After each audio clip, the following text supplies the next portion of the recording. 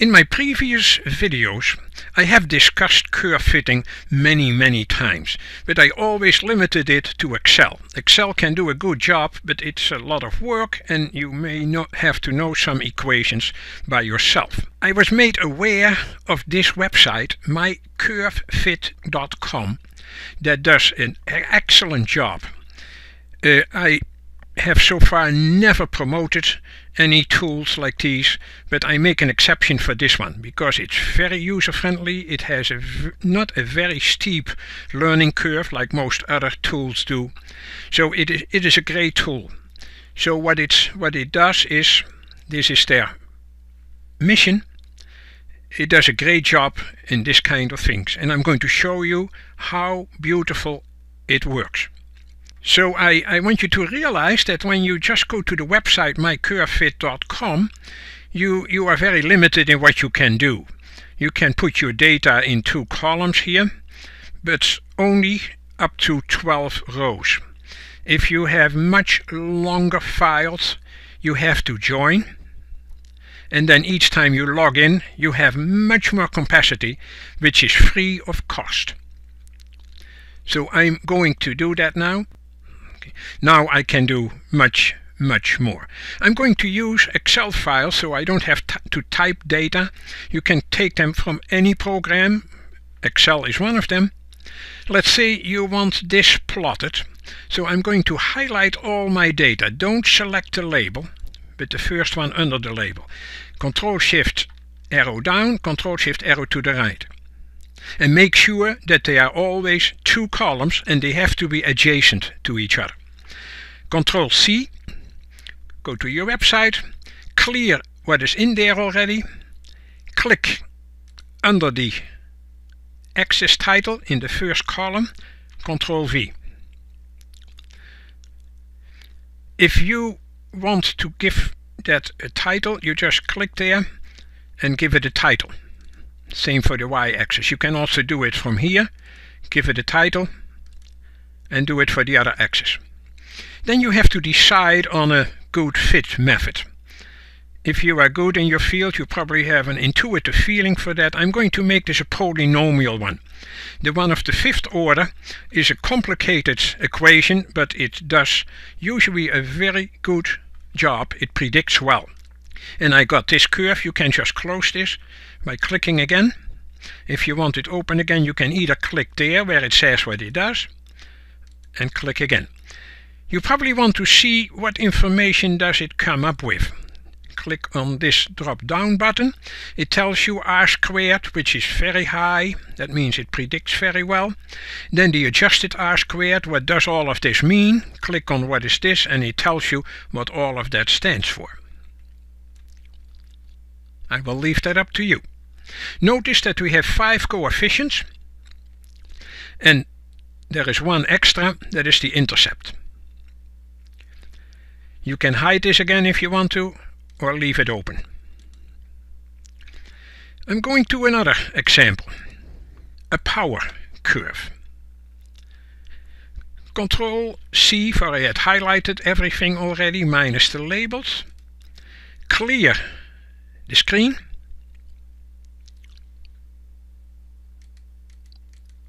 Control V. So we are going to make it a power curve, nonlinear power. And that's what we got.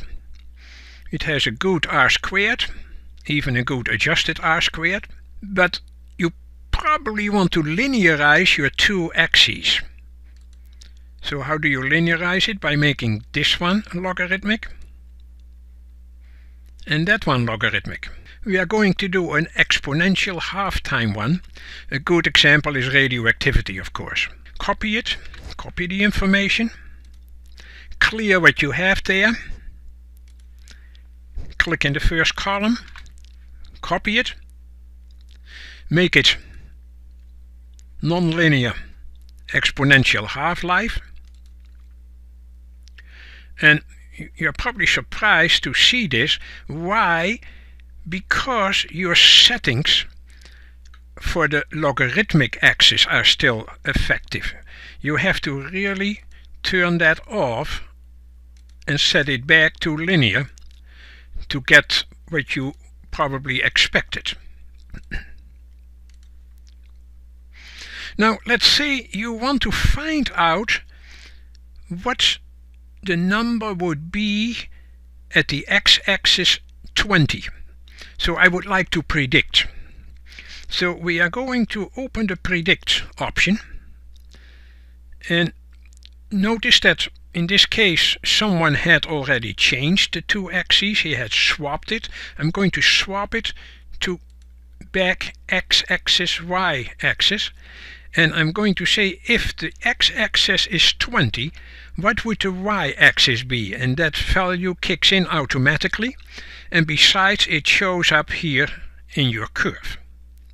So that's another great tool of this program. Let's go to the next one. We want an EC50 determination. That is a sigmoidal curve or S-shaped curve. This is the information we have. Select your data, Control Shift arrow down, Control Shift arrow to the right. Clear the information. Implement it. And notice that again it remembers what you had done before here, so we have to clear that out. And you probably don't even want to see that screen now. So let's make it a sigmoidal curve, non-linear. Sigmoidal, you have a symmetrical one, an asymmetrical one. I'm going to do the 5PL one. So that comes up with five coefficients and it does a, a pretty good job. If you work with EC50 you probably want to determine what is halfway on this axis. I calculated that very simply here already. I said take the lowest one, add to it the difference between the highest and the lowest divided by 2, that is halfway. So I just copy that number, Control C, I go to my predict section. You want that value in the y-axis, correct? It, that has to be in the first column, so you have to swap this and type it there. And that will come up with this point. That should be minus 9.57 on this axis. Before I forget it, I'm going to clear that one. I swap it back to normal, otherwise you might forget that for your next import. Then we are going to show you if you have a power one like this for instance and you would like labels at each set of data then what would you do? Control Shift C clear Control Shift V that's the curve. We are going to make it power, nonlinear power. It does a great job, but things are really clustered here and there. You can probably avoid that and make it look better by making that axis again logarithmic. It is a power curve, so both axes should be logarithmic. If it's exponential, you want only one of the two axes. Now let's say this one stands for a fly organism. So I click there and add a label, or you can flag it if you want to. And I'm going to say this is for the fly organism. You can change the color, etc. and it will show you what that does. A 5PL one where I have to swap things probably. Let me show you what I mean. Control C clear this screen, import the information, and this is probably not what you wanted because I have to swap my information and then I can make it a nonlinear 5PL one and I get a curve like this. Then we are going to do a linear one with a swap and we are going to transform it actually. Why do you want to transform data sometimes? Because if you don't, they are not distributed according to a normal distribution. So sometimes you have to transform your data set. Let's copy this information, clear what we have, Control V. We still have our axes logarithmic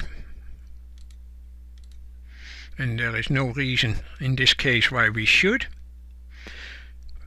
I usually change that immediately so you don't forget and that is what we got. Sometimes you want to just swap the information.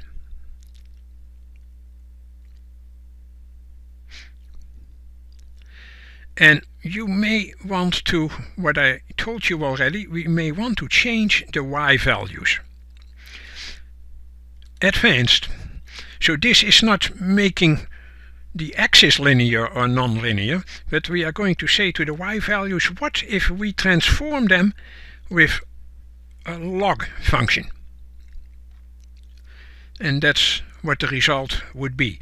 Now the, the data in the y column are more normally distributed and that is sometimes what you want to achieve. Sometimes with the natural logarithm, sometimes with a logarithm base 10 or 2 or whatever you choose according to your information.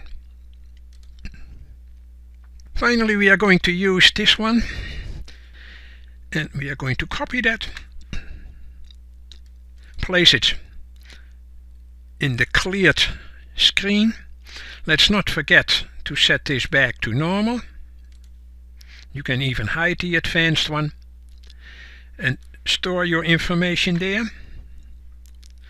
And you get a, a very nice curve. In this case I chose poly uh, nonlinear 5PL asymmetrical sigmoidal. And there is a very beautiful option here. Two buttons. One determines how do you want to export it as an Excel file, PowerPoint or Adobe.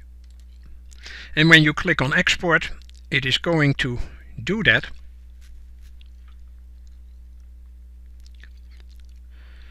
And it's going to store that in Excel. Uh, when you enable editing, you can do much more work on it. For instance, you can change the background colors for all of this. But what is more important, I think, is you have your coefficients. It tells you what kind of curve fitting method you used, and it gives you original data. I think that is a beautiful part of this program. Again, the program lets you do all of that. Very powerful, very beautiful. Uh, I want you to experiment with it on your own and I wish you good luck with this experience.